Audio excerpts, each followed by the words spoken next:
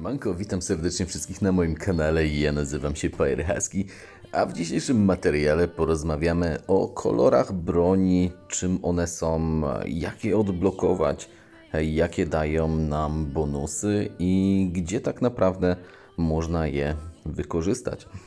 E, Skupimy się tutaj na wszystkich możliwych klasach postaci, czyli zarówno wojownicy będą, będą również e, obrońcy, pojawią się tutaj supporty, jak i oczywiście magowie. E, Zaczynając od pierwszego bohatera z lewej, czyli wojownika, wchodzimy sobie tutaj w kolor, e, w zakładkę broni i następnie e, klikamy na broń. I teraz w moim przypadku Lucyfer posiada kolor pomarańczowy. I dlaczego akurat pomarańczowy na tym konkretnym bohaterze? Otóż każdy kolor dla każdego rodzaju klasy ma różnego rodzaju zastosowanie. W przypadku wojowników jest to niezmiennie ten sam.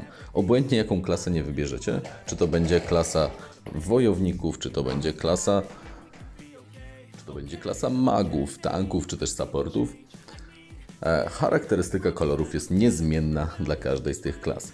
Czyli w przypadku wojowników kolor czerwony w momencie, kiedy życie bohatera jest poniżej 50%, zwiększa się jego umiejętności kradzieży życia.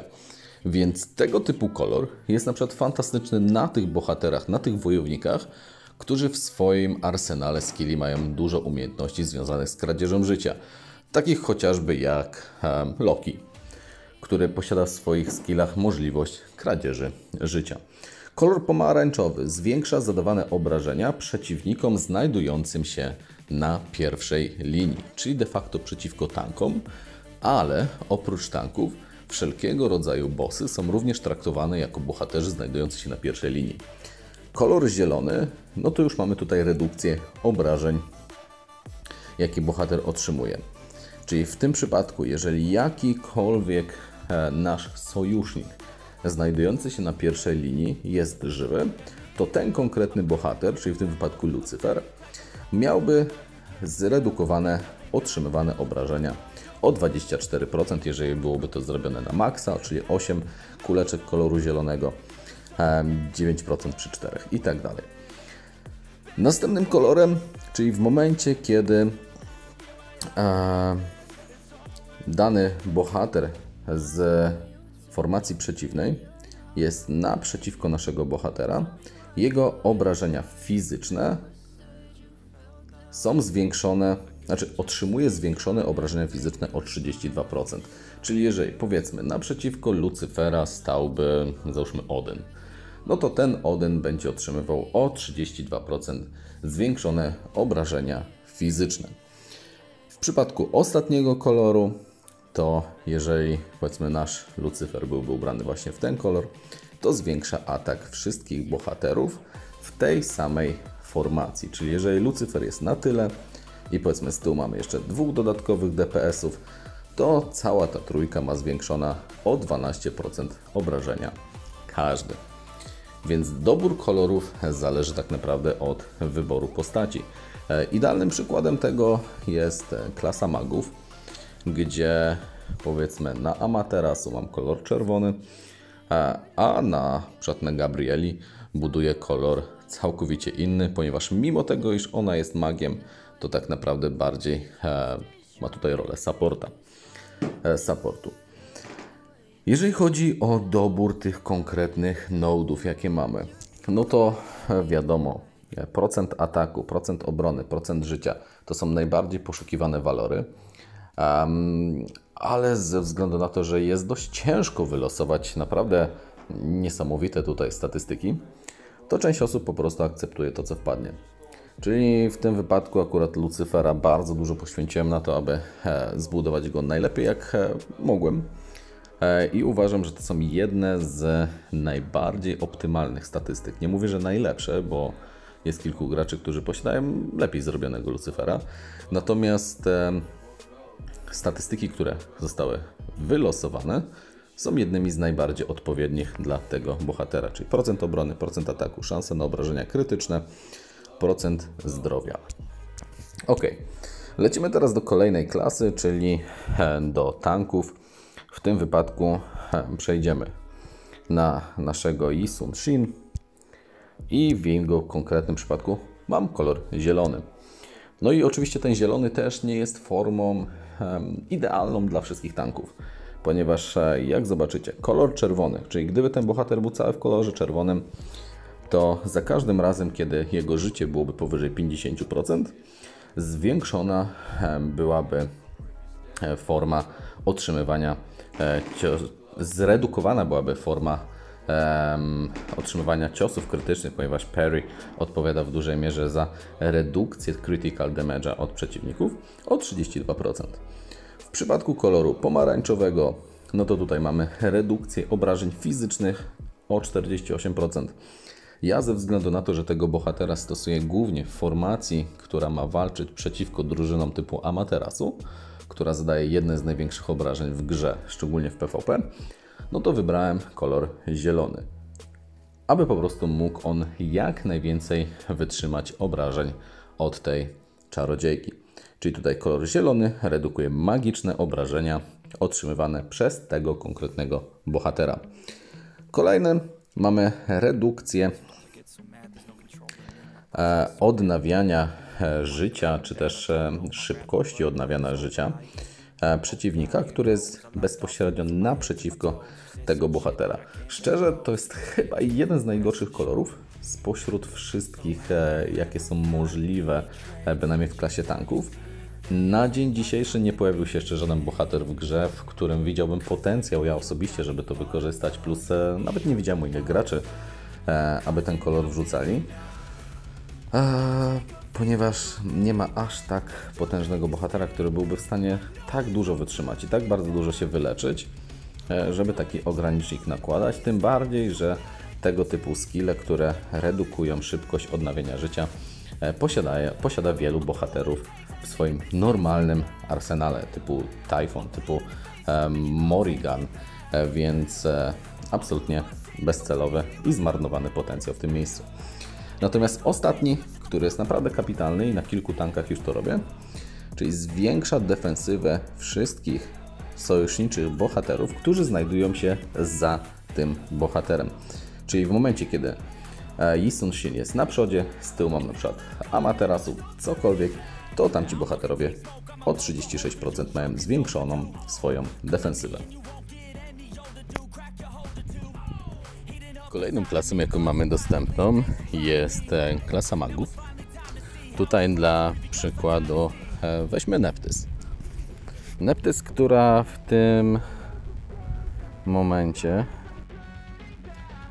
Neptys, która w tym momencie, e, pomimo tego, że jest klasą maga, bardziej działa w moim e, zestawieniu jako support. Jej głównym celem jest e, leczenie. Leczenie oraz obniżenie pewnych wartości ataku i zdolności drużyny przeciwnej, więc zależy mi na tym, aby jak najdłużej stała na polu bitwy. Także w jej przypadku broń już jest na przykład w kolorze zielonym. E, za chwilę pokażę swoją Amaterasu, która jest całkowitym przeciwieństwem e, do, do Neptys, dlatego że ona jest jako główny damage dealer. E, ale wszyscy bohaterowie klasy magów mają również te same parametry w kolorystyce broni. Czyli broń w kolorze czerwonym Większość magów generalnie jest budowana, tych, które są pod atak, e, jako jednostki zadające obrażenia, jest budowana w dwóch kolorystykach. Pierwszy czerwony bądź drugi pomarańczowy. Czerwony z tego względu, że w przypadku, kiedy życie bohaterów, których atakujemy, jest powyżej 50%, otrzymują oni zwiększone obrażenia o 24%.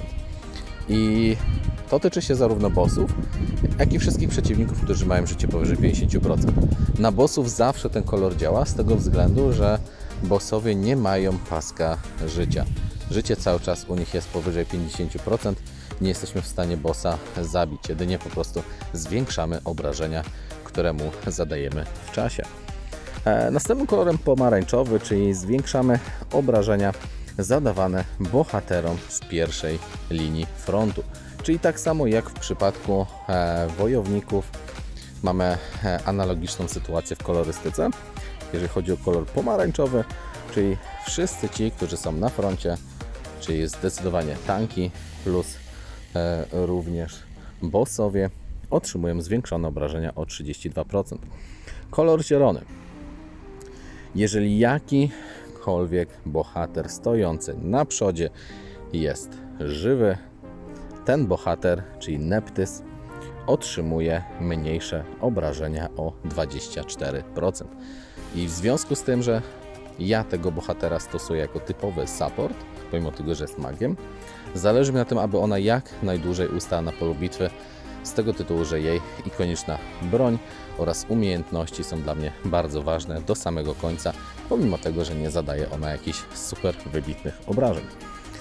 E, kolejny kolor, czyli w momencie, to jest analogiczne e, do wojowników. W przypadku wojowników, czyli bohater będący bezpośrednio naprzeciwko naszego um, wojownika otrzymywał zwiększone obrażenia fizyczne o 32%. Tak w przypadku magów, jeżeli ktoś stoi naprzeciwko Neptys w tym wypadku i byśmy mieli ten kolor wybrany, to otrzymywałby ten bohater obrażenia magiczne zwiększone o 32%. I kolor ostatni, czyli analogicznie to samo co właśnie u wojowników. Wszyscy bohaterowie znajdujący się w tej samej linii formacji co nasz mag mają zwiększoną siłę ataku o 12% i o 20% mniej baterii na telefonie. E, ok. E, I teraz właśnie idąc do Amaterasu, wróćmy ponownie. I gdzie jest nasza Amaterasu? W tym miejscu, super. I na przykład moja Amaterasu posiada kolor czerwony. Czyli wszyscy bohaterowie, którzy mają powyżej 50% życia, otrzymują o 24% zwiększone obrażenia. Możecie zobaczyć tą bohaterkę w dwóch kolorach: czerwony lub pomarańczowy. Który lepszy? Ciężko mi stwierdzić. Jeden i drugi sprawuje się fantastycznie. Na jednym koncie mam pomarańczową, na drugim koncie mam czerwoną. Ciężko jest mi wybrać, który jest um, silniejszy, mocniejszy, e, bardziej idealny. Każdy z nich tak naprawdę sprawuje się inaczej w różnego rodzaju sytuacjach, które często gęsto są losowe ze względu na szybkość i dynamikę walk. No i zostaje nam ostatnia klasa, czyli klasa supportu. Więc lecimy w nasz support i dla przykładu weźmy może Aladyna, pierwszy z brzegu. W przypadku supportu kolorystyka wygląda następująco. Czyli w momencie, kiedy leczymy sojuszniczą jednostkę posiadającą mniej niż 50% życia, zwiększa się, zwiększa się procent leczenia o określoną wartość. Czyli gdybym miał to na poziomie maksymalnym, byłoby to 40%. Ja mam pół na pół z kolorem innym E, czyli mam tutaj o 15%. Oczywiście możecie mieszać te kolory. To jest tak naprawdę Wasza indywidualna e, interpretacja tego, co Wam się podoba. Ponieważ każdy bohater ma swoje umiejętności bardzo unikatowe, natomiast też nie możecie się w 100% sugerować kolorystyką, którą posiadam ja lub inni gracze, ze względu na to, że jest ona zróżnicowana do konkretnego stylu gry. Jeżeli ktoś nie interesuje się w ogóle PvP, nie chce brać udziału w żadnych arenach, wojnach itd., tak no to pewnego rodzaju kolorystyka, którą wybierzecie jest e, bezsensowna. Więc e, kolorystykę dopasowujecie do swojego stylu gry i oczywiście wiadomo, jeżeli są to tanki, to musimy bardziej iść tą formę defensywną e, i szukać tutaj również umiejętności bardziej defensywnych w przypadku postaci zadających obrażenia E, umiejętności ofensywnych itd. Tak e, wracając do naszego supportu, kolor pomarańczowy. Redukuje on fizyczne obrażenia otrzymywane przez e, tego konkretnego bohatera o 48% w przypadku maksymalnego wyboru kuleczek w kolorze pomarańczowym. Jeżeli byśmy zrobili go na zielono, wtedy otrzymywałby obrażenia magiczne mniejsze o 48%. I na niektórych bohaterach posiadam właśnie kolor e, zielony, z tego względu, że tak jak wcześniej pokazywałem, na podstawie e, tanka i Sunshin, on jest cały w kolorze zielonym, aby otrzymywać mniejsze obrażenia zielone. Tak samo na przykład Dangan, który jest moim supportem, znajduje się również na linii frontu obok i Sunshina, więc tych dwóch bohaterów potencjalnie jako pierwsi otrzymują obrażenia od Amaterasu, w związku z czym oboje posiadają kolor zielony, aby redukować właśnie te magiczne obrażenia otrzymywane od bohaterów klasy maga.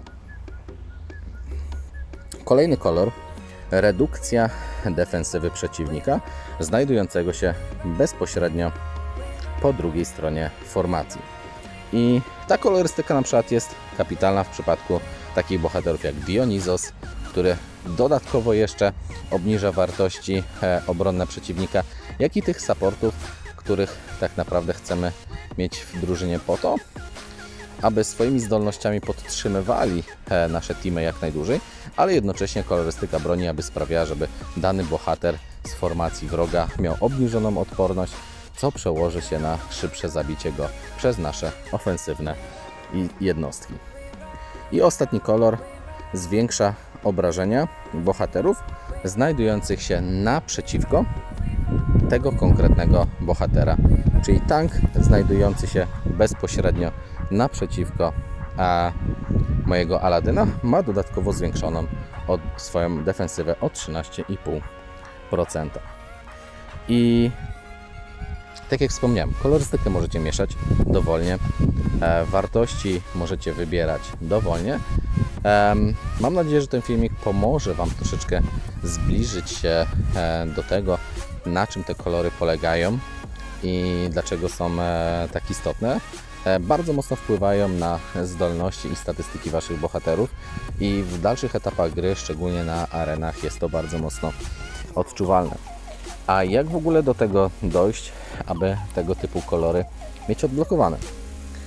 To już Wam tłumaczę. W pierwszej kolejności wchodzimy w Ragnarok, następnie Sinful Abyss i tutaj walczymy przeciwko bossowi.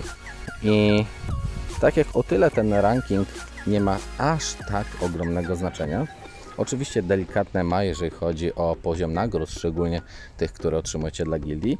Tak właśnie z tego Eternal Abyssa ważne jest, abyście brali udział zawsze za każdym jednym razem. Nawet jeżeli Wasze obrażenia są małe. Nieważne. Weźcie udział, zawsze otrzymacie nagrody, ponieważ za nagrody z tego wydarzenia otrzymujecie Bloodstone oraz Blood Crystal, za które kupujecie ten przedmiot, który został już przeze mnie wykupiony, czyli ten z skrzyżowanym mieczem i stawem. I za pomocą tego przedmiotu możecie właśnie ulepszyć broń swojego bohatera.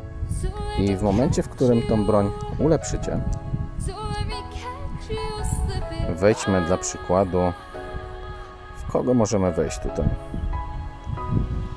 Na przykład w Afrodytę która na chwilę obecną niestety nie może mieć zwiększonej broni, ale na przykład na przykład wydaje mi się, że i za nami będzie mogła mieć. Tak jest. Jak jest broń wbita na poziom 400, to macie możliwość jej przebudzenia. I jak ją przebudzicie, to otworzy się wtedy koło ulepszania broni, tak jak właśnie mam tutaj aktualnie na Gabrieli. Więc ulepszając tą broń na kolejne poziomy,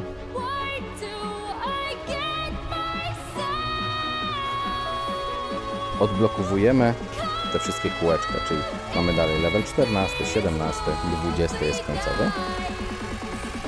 A wybierając w tym miejscu e, konkretne kółeczko, możemy losować tak naprawdę różnego rodzaju statystyki.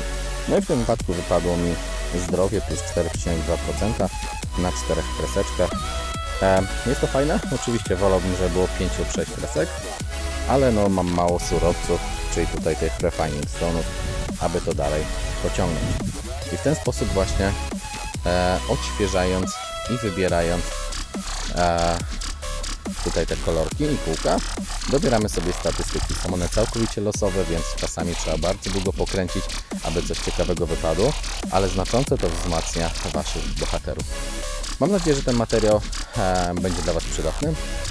E, jeżeli się podobał, łapka w górę, komentarz mile widziany i do zobaczenia w następnym materiale. Trzymajcie się, cześć!